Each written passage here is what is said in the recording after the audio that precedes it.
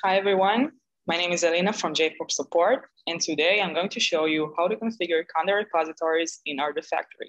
So let's get started. Okay, before we begin, let's see we have Conda installed on our machine. So let's run Conda. And we can see that we have the Conda client. That's great. Now, let's move on to Artifactory. Okay, so we have our artifact right here. Let's do a login. We have our credentials set. Let's log in. Great, we're logged in. Now, let's create our Conda repositories. For this demo, we'll use the quick setup tool. This tool allows us to quickly set up a local, remote, and virtual repositories. So we'll choose Conda. Great, let's choose a prefix. For this example, I'll use dev.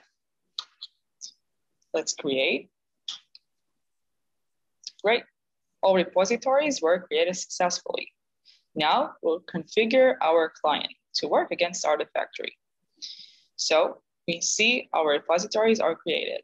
We have the virtual repository, the local repository, the um, remote repository and the remote cache repository in which Artifactory will uh, cache the artifacts. So let's go to our virtual repository and let's click the set me up button.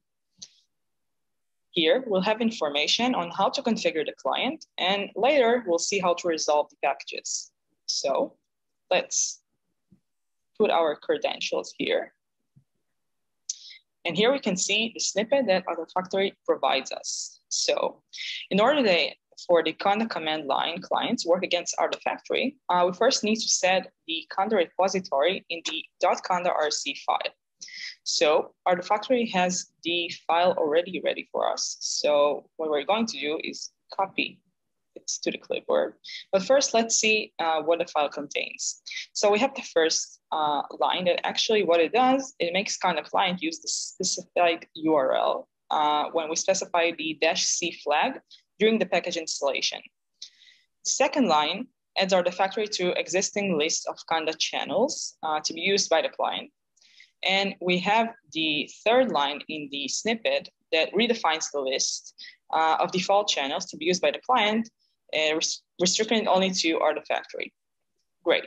If we want, uh, we can disable the client SSL validations and end the SSL verify false flag. For this example, we'll just copy the snippet and we'll head to our terminal window. Great, so we're in the terminal window. Now, let's go to our uh, Anaconda root directory and create the conda rc file. So I'll go to root and Anaconda. We'll see what we have here.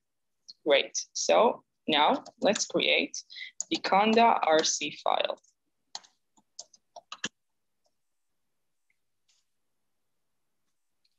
Let's paste the snippet we copied earlier. Here, I'm going to change the IP address to localhost as my artifactory is configured on this localhost machine. Great. Let's save the file.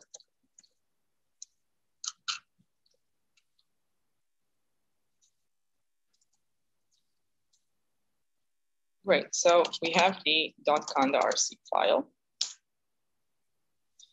And now we can configure the client to work against Artifactory. So let's give it a try.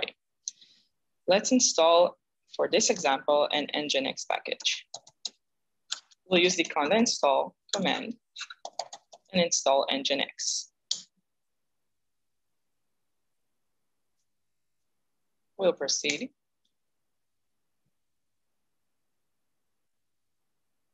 Great.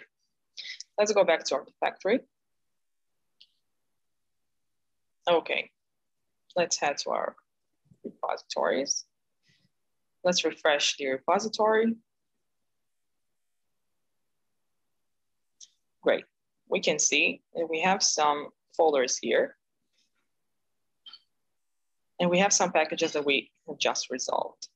So as part of the resolution, we can see that we have a few packages in the virtual repository. If we'll go to the Conda remote cache, we will see that the packages are now cached in our repository. Great. Let's use another example. Let's say we want to uh, upload some package to the Conda local repository. We can do the following. For this example, I'll use JFrog CLI. You can use curl as well. This is up to your uh, preference. So let's do the JFrog RT U for upload. I'm sorry, RT U let's mention what file we want to upload. So for this example, I'll take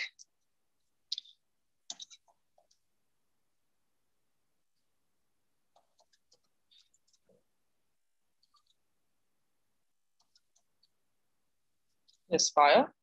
And we need to mention the repository name. So this will be great. You can see we have success. And we can see that we have the package right here. This is how you configure the Conda client to work against Artifactory. Thank you guys for joining me. I hope you have enjoyed this short video. If you have any questions or comments, please feel free to leave them in the comment section below. Thank you.